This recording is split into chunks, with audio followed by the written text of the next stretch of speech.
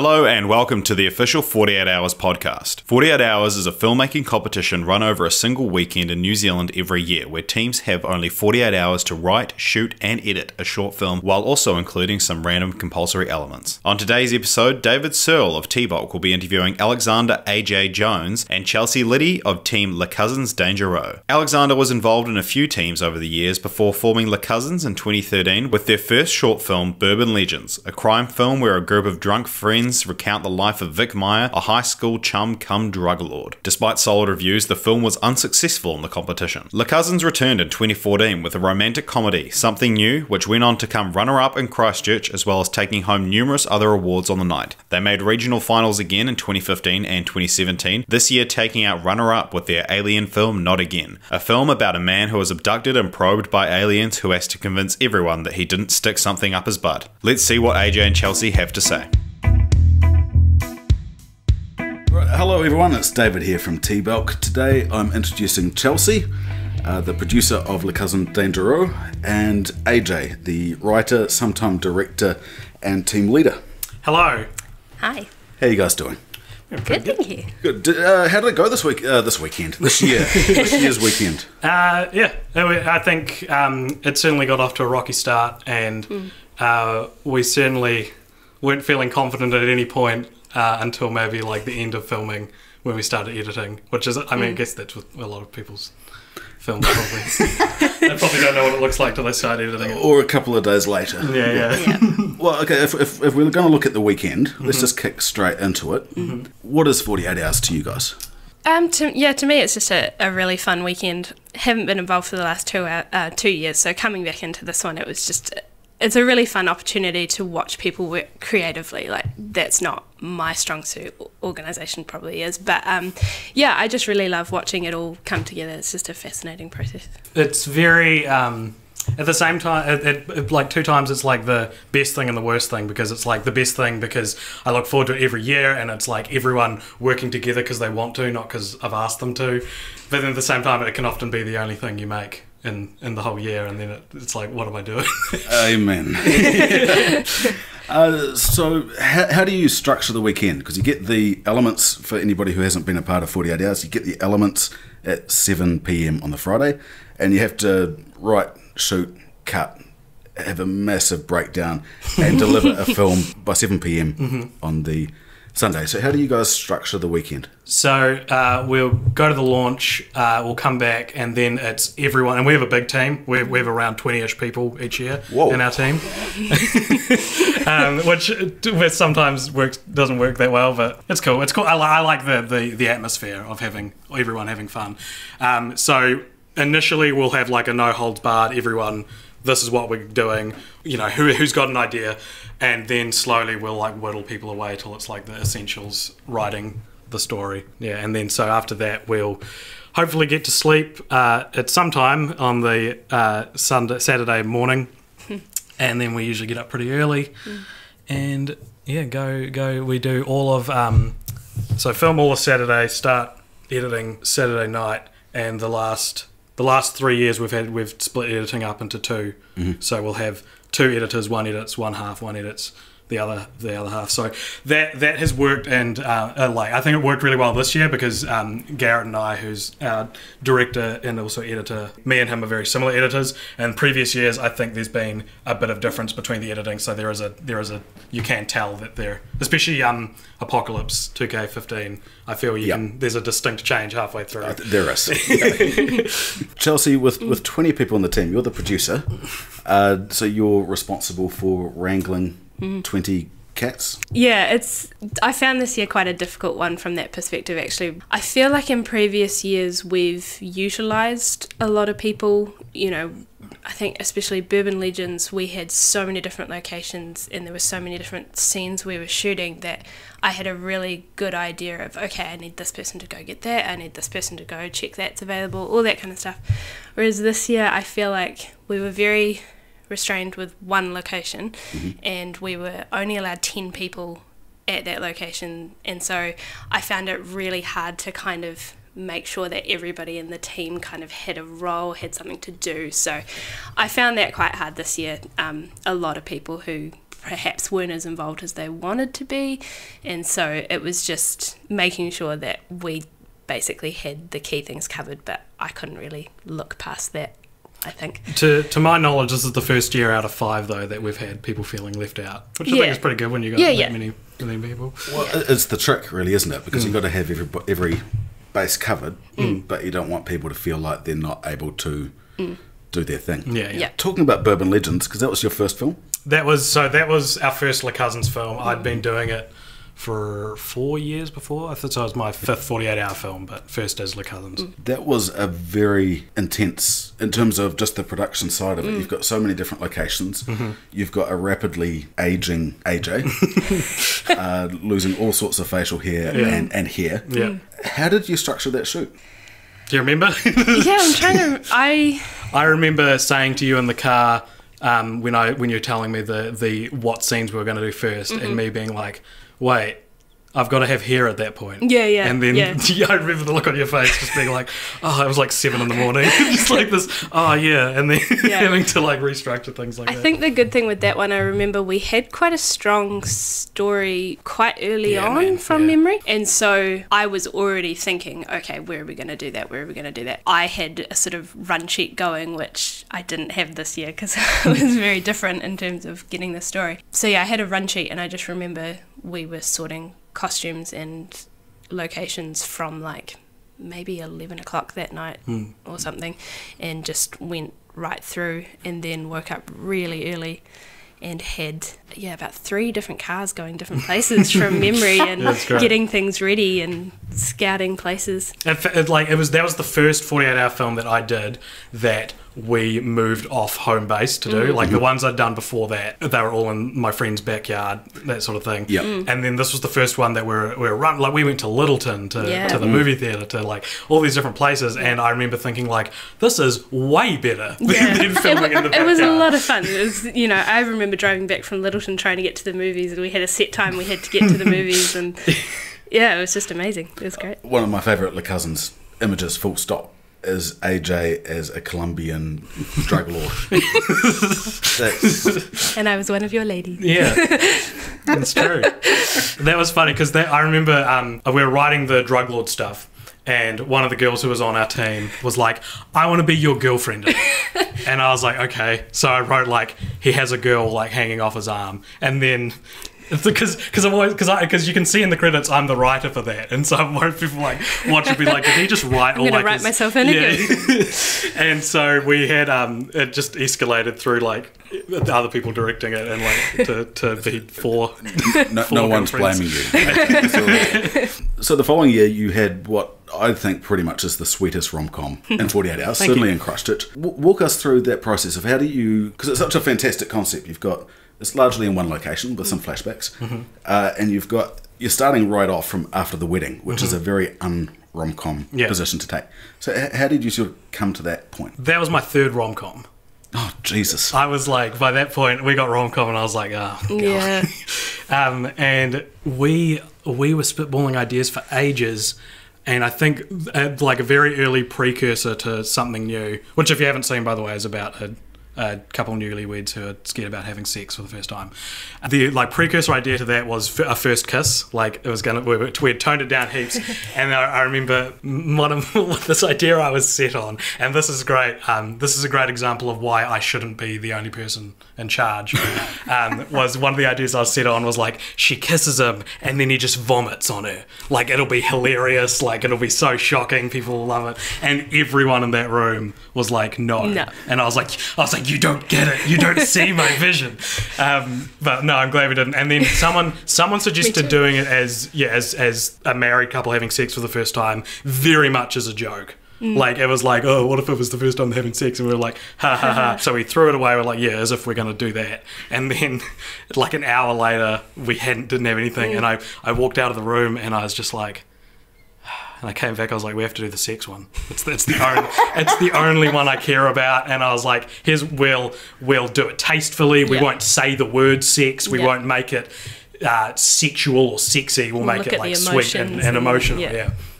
So that's how that sort of came up with And like, and then I remember writing that, and I finished that at like 3 a.m. and my heart was pounding from like three V's that I'd had.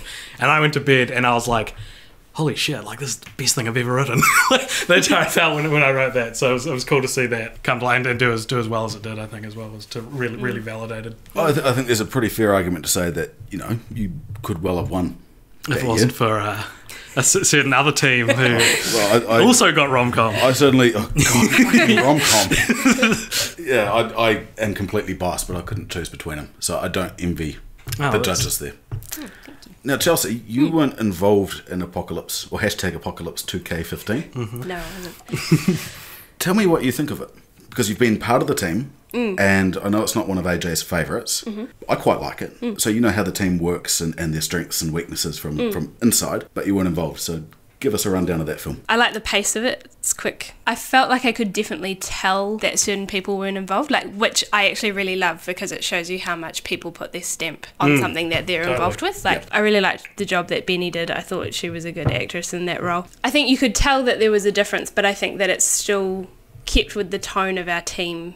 Yeah, I could see it was a Les Cousins film. I enjoyed seeing that, seeing the development come through. It was I, one of the notes I, I made while watching it again tonight was where do you find all the corpses? But now that I know that you've got twenty odd people, that Yeah.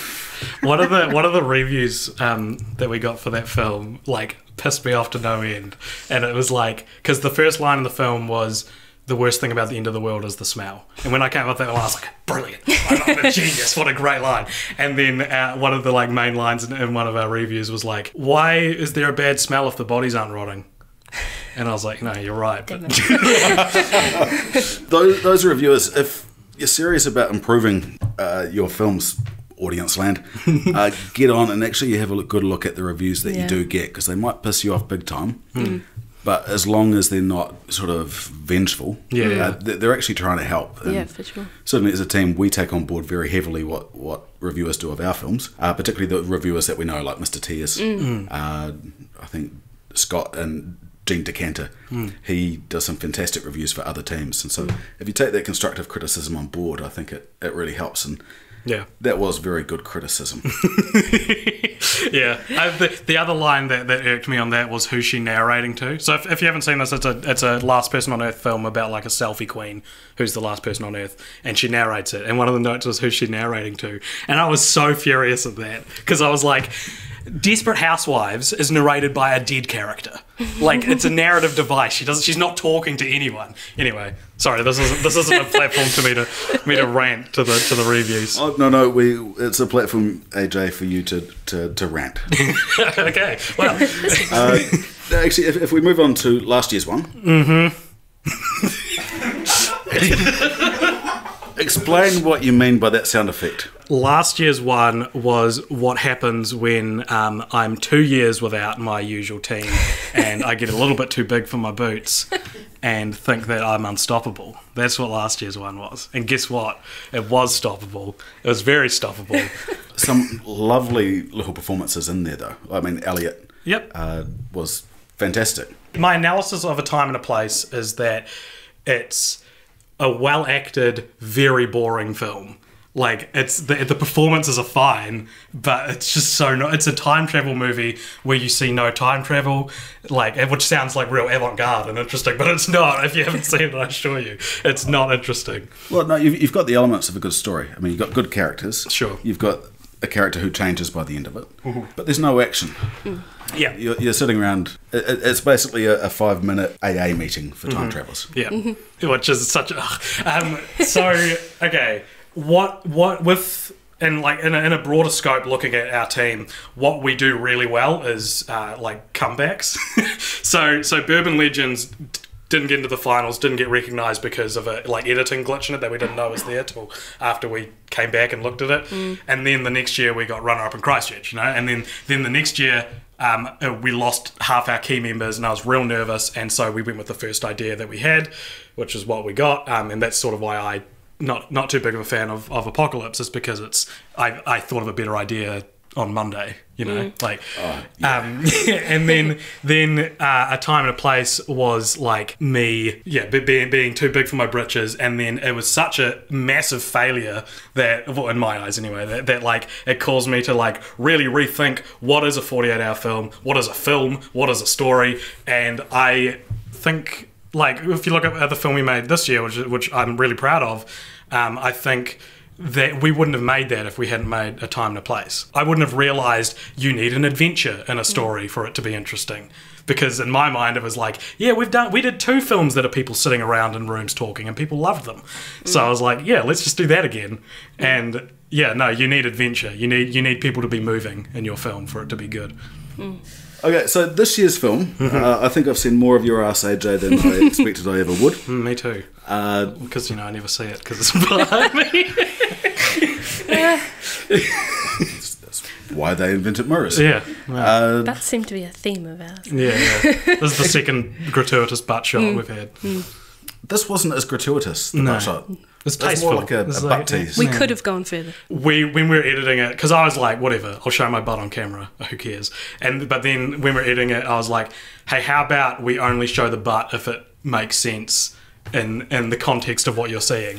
like if you can cut away from the butt, why not? And we are like, yeah, okay, that's probably a better idea. So, Can we please advertise this podcast as the one that says we'll only show the butt if it makes sense? yeah, definitely. I think that's our new new slogan for it. So Chelsea, with that one, you said you could only have ten people on set for, Yep. for obvious reasons. Uh, if you've seen the film, who did you choose? I mean, who was cut, and how did you cut them, and sort of what roles did you prioritise there?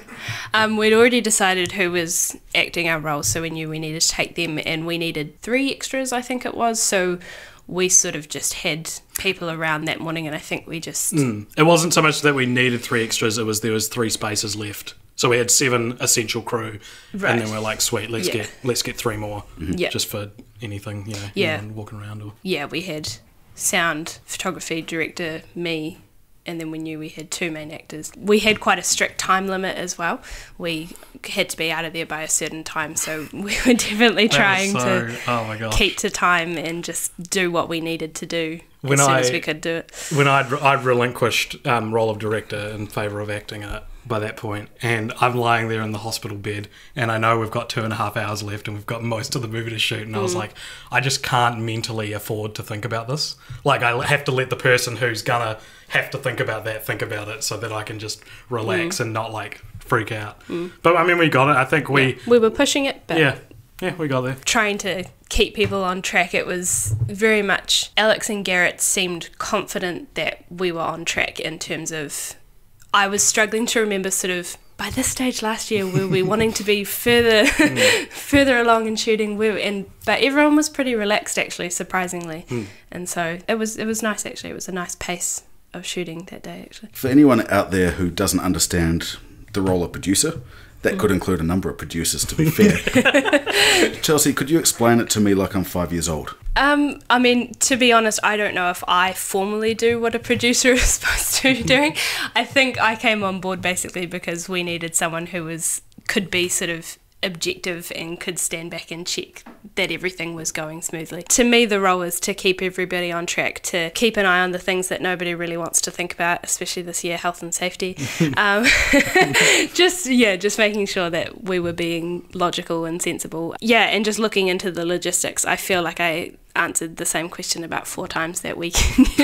just everybody asks you for those little details, so it's your job to be on track of the little details, the formalities. Yeah, managing people, delegating roles, making sure somebody's looking after food. You know, not taking care of all of that stuff yourself necessarily, but just making sure that somebody is doing it, making sure that everybody's happy and knows what they're doing, I guess. Chelsea's our secret weapon because without her, it would be me producing, and then we're not going to get any food. No one's going to get anywhere on time. Um, well, I mean, I say that we we've had um, we had like someone step in as producer for Apocalypse and a time and a place, and they they did great. But. Yeah. yeah, It's definitely- definitely like our secret weapon. It's definitely not a role you can neglect thinking I can, you know, I can just handle those few things that are essential and then the rest will just sort itself out. I think that's the key, remembering that it's not going to sort itself out. There's always someone behind those things that help on the on the weekend. You can't fix everything in post. No. you Can't fix broken hearts. And So this year was a little bit different. Mm-hmm. You didn't do Ultra. no. no. Well, technically, we don't qualify because this is only our fifth film, so we'd only done it for four You, years. you had done four years before that. yes, You could have qualified. I could have, and I was talking. I was talking to them about it, um, and I talked to our team. And initially, I was like, "Yeah, let's do it." And then um, I put the word out to my team, and Chelsea in particular, and like you know, it was a good, good. I'm glad she did. Um, was like, no, basically, basically. I think I said please no. Um, a lot, a lot of the people who had just joined or have like um, sort of not not as as key roles were like, yeah, let's do it. And but everyone, when Chelsea said no, it was basically like, sweet, no, then. But I think I think part of it it could have been selfish reasons, but I was thinking, you know, I haven't been involved the last two years. I'm really keen to see what we can do again under normal circumstances, if that makes sense. Like I knew we had a couple of well, it was just me and Garrett coming back, I think. Ah, you, yeah, as key, Yeah. as key members, we had like Christy and Michael coming back. Yeah, we had a few key members coming back, and I was just really interested to see what we could do. I felt confident that we could get back to the something new level if we gave it a really good shot under the same circumstances. So th- that was my reasoning. you have. Yeah. It, it, it's, I think, probably the best film you've made so far. That's interesting. It's very interesting. But if you did do Ultra, I Yeah. think I've got a fairly good idea what you would have done. Okay, what was it? Tell me what I would have done. It, it would have been Bourbon Legends 2. Yeah, it would have. Yeah. Hopefully in the first person shooter type. Oh yeah, Action. Interesting. Um, well, because we got Alien, so I, I it wasn't until last night that I actually considered like if we'd done Ultra and got a different genre, what would we have done? I feel like we're we're we're the, the benefit of having like our first two films were both drastically different in tone, and so for that. If we have to do a sequel, we can do a sequel to Bourbon Legends under any genre. Like it doesn't because it's not it's not serious. It's silly. Oh, please, Bourbon Legends 2, the musical. these these are you're, these are all ideas There's that an we had. Um, and yeah, so like I think the idea that I sort of came up with in the back of my mind after after the weekend was like doing Vic Meyer from uh, Bourbon Legends gets abducted by aliens, and it's the same it's the same people sitting around talking about him and the, them getting drunker, and the same, basically the same film, but giving allowing us to give Bourbon Legends like a second life because it was it was so like ignored when it when it first happened. So it was like a chance for us to you know not really a chance because this is all looking back in retrospect. But um, I would have loved to do um, a sequel to, to something new, Yeah. but not with Alien. no. so, yeah. No, I'm, I'm glad. I think Not Again is the the fir- it's the first time that I've thought of other ideas after the weekend that I haven't thought they were better. Like, eh, or first time since something new. So both Apocalypse and A Time and a Place. On Monday, I've been like, "This is a way better idea. I wish I thought of this." But with Not Again, yeah, I've thought I thought of other ideas, but I feel like they wouldn't be better. So that's cool. It took a while to land on let's do a film about anal probing because I think I think for me one thing that I always try to avoid and, and never manage to each year is um, doing what everyone else is doing. So like this year, the Wilhelm scream was everyone's ringtone, which we did as well, thinking it was a, an innovative way of using it Same. my my thoughts were like everyone's gonna do um, illegal aliens. They're gonna spin it and do it about like illegal aliens, or they're gonna do anal probe. Like everyone's thinking of doing anal probe. I haven't seen one other anal probe alien movie in the competition this year. Nice save. Can I just say I I think the story writing process it was about 1 a.m. I went home to try and mm. get some sleep because I just thought I can't help anymore. There's nothing I can do. I was literally getting out of my car to go home and I got a call from Alex and Garrett and they said we've got it. We're doing anal probe. and I just I honestly thought they were joking. Like, they're overtired. They're just they've gone. I think that's we were crazy. overtired. That, Yeah. that was the beauty of it. Was But it was a good sort of five minutes of them pitching to okay, this is this is where we're going. So yeah, and like at the start of the night, I'd put up a um, I put up my Venn diagram on the wall of like what what needs to be in a good film, right? So that's that's adventure, as I mentioned before, um, humor and heart, basically. Like these three things will make like a great film. And then like halfway through, I think it was either Saturday or Sunday, one of the team members was like. Hey AJ, so how does this one fit into heart? And I was like, it doesn't. but I don't know. it, it does. It does. It okay. does. Yeah. Well, I mean, he, interesting. he doesn't run away. yeah.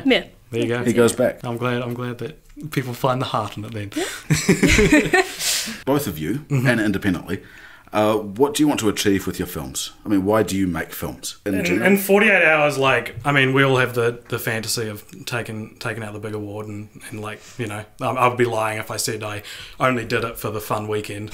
so I do it, yeah, I do it because it's a, it's the more years I've done it, the more I've worked out how to analyze what is good and what is bad through trial and error, of course, through making bad films, and you know, uh, I've, I've worked that out. And so for me, it's like another each year is like another chance to like build, on what we did last year, even if, if it's like a drastically different story. I think for me, it's just seeing all these people that I admire creatively and have seen what they do in other contexts, seeing what they do under this environment, under the time pressure. Yeah, to me, I just genuinely love being on the other end of it and seeing what we've come up with. And especially, I think our team, I love looking back and seeing how different our films are. so, yeah, I just love that. I just love being surprised by what we can do, I think, is why I do it. 48 Hours is obviously a, a, a great excuse to make a film every year. Do you manage to make other films outside of 48 Hours? In, in in like the grand scheme of things, I would I would say yes. In practice, not really. Um, I I want to, and like I mean that's that's my my vocation basically as well. I do I do a lot of like blog stuff more than like I, like from since 2014 I got real into doing blogs and reviews and and like examining pop culture more than writing my own stories. And I think I'm better at that across the board than I am at writing like fiction, but I like writing fiction more. It's just I don't do it as much and it's a lot harder. I think that's key. Yeah. Everyone should go over to Facebook and join, like the page Cult Popture. Mm-hmm. I always want to say pop culture. Everyone does. Yeah. Although now, now um, some people say cult culture when they when they mean pop culture now, and I feel like that's a good mark that I put on on my social circles. you know, I'm, it's like it's like when people say they're going to Google something. I'm basically Google at this point. You know. Created brand.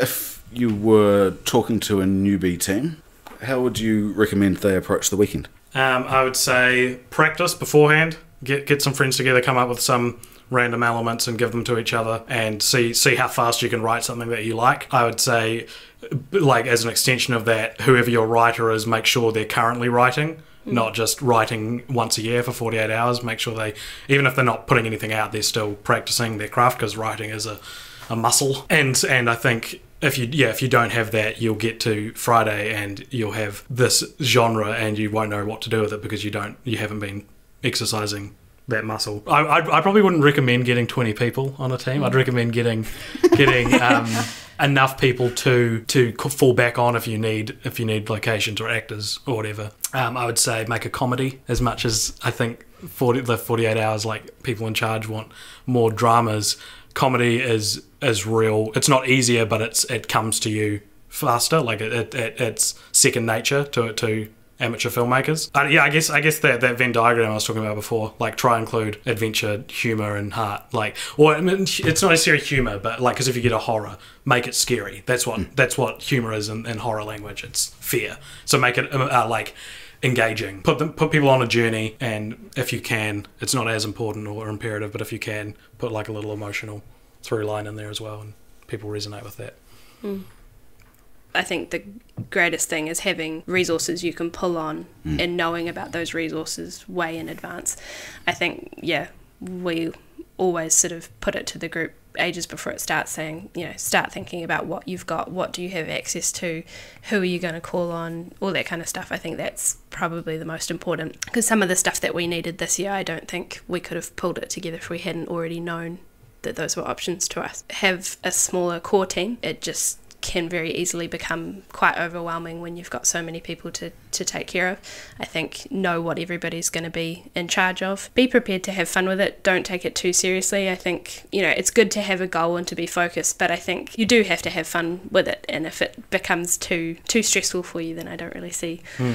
Yeah. I don't really see what the point is if you're not having fun with it. So Which I know a few people in my life who have stopped doing it for that hmm. very reason. Well, and, and just to finish up, if you could change one thing about 48 hours, what would it be? Uh, put it back up to seven minutes instead of five you. minutes. Yeah. Thank you. In my opinion, and like our Western storytelling compasses, seven minutes is a very natural amount of time to tell a story because you've basically got two minutes each for beginning, middle, and end with another minute in there for pacing. Initially, when, when we first made a time and a place, my first, like, the big thing that I blamed its failure on was because I had to make it five minutes. But Bourbon Legends was about five minutes. Yeah, but it didn't have to be. Like I didn't have it. I didn't have it hanging over my mind. You know, like with with a time and a place, I was like, shit, I've got to make this five minutes. Like, mm-hmm. da, da, da, and that was all I was thinking. It ended up being like three minutes. So like people say a minute per page. That's not true. No, no.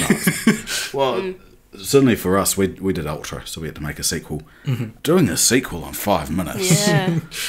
It's- yeah. it shows. Yeah, mm. I never I never struggle with seven minutes. Mm. I struggle with five. To be, to be fair, uh, just to play the, the devil's advocate, I think bad films immeasurably improved by reducing their length by two minutes. Yeah, That's true. Yeah. yeah. There's some of them still feel like ten minutes. Yeah, and the judges do have to watch those as well. Yeah. But no, I'm with you. I think seven minutes is ideal. Yeah, agreed. That's a wrap for the Christchurch season of the 48 Hours podcast. Next episode, we'll be jumping to Wellington, where Team Squint Eastwood will be interviewing Temple of Solitude. For more information on 48 Hours, head to the website 48hours.co.nz or jump on the Facebook page.